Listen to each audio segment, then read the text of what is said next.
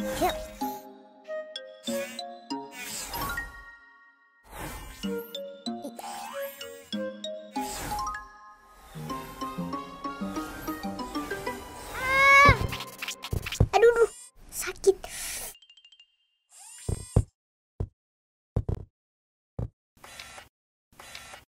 Teman-teman, ingat dan saksikan episode terbaru Riko ya. Setiap Jumat di channel Riko The Series. Seru deh!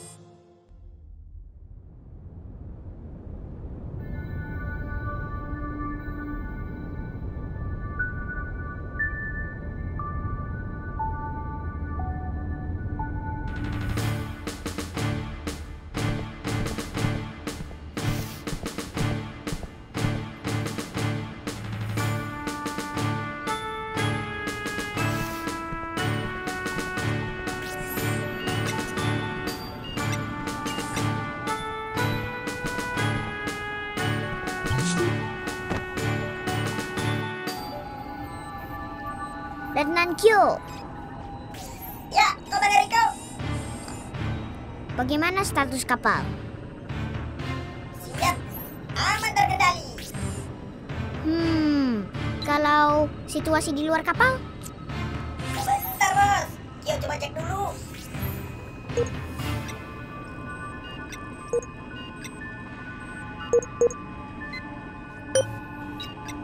Ada apa Letnan Q? Ini. Sepertinya ada tiga meteor besar yang akan menabrak kita, Komandan. Kalau begitu, aktifkan status darurat.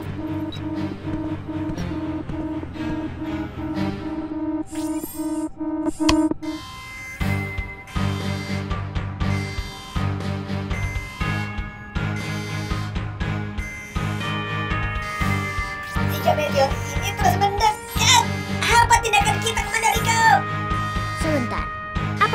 Meteornya? Meteor Lapalus, Meteor Mara Higgs, dan satu lagi Meteor Pelitik. Kalau begitu, siapkan senjata.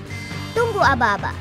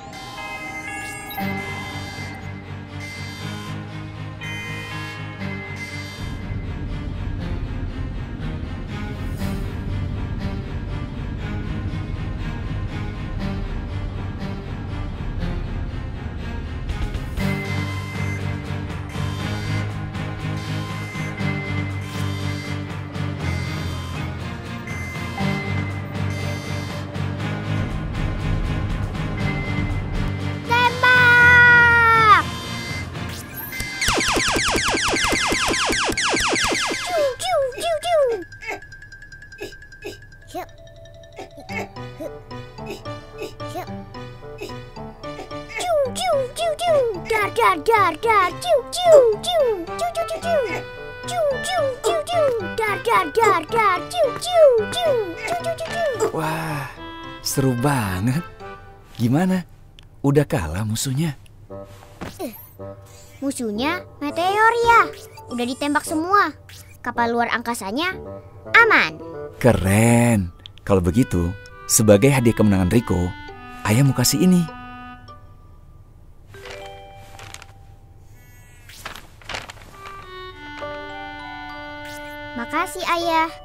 Tapi Riko nggak suka hadiahnya.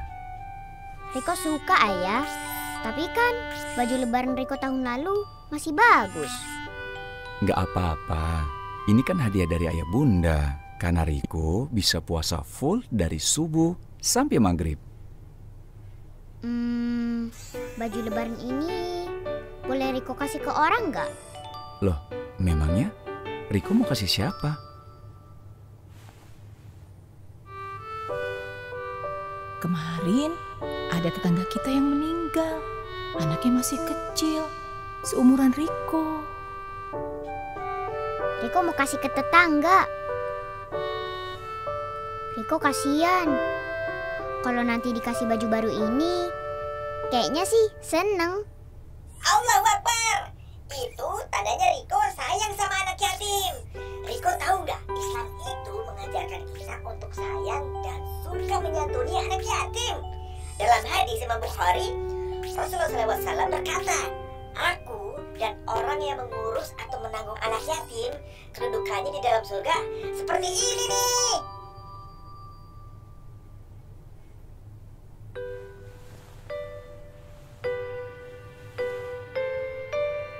Loh, ayah kenapa? Ayah bersyukur sama Allah punya anak seperti Riko. Wah, berarti tahun ini semua bisa ikut lebaran ya? Iya, insya Allah ayah, bunda, Riko, dan Kak Ulan semua bisa ikut lebaran. Kecuali Kio. Kio nggak bisa ikut lebaran. Memangnya kenapa? Karena Kio kan udah terlanjur ke lebaran. Maaf Kio, ayah cuma bercanda.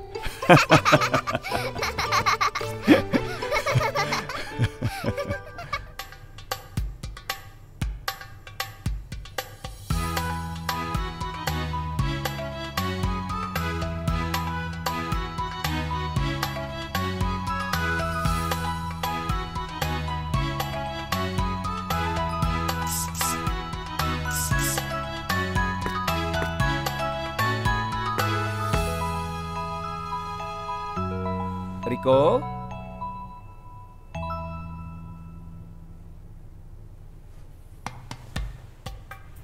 Riko The Series mengucapkan Selamat Hari Raya Idul Fitri.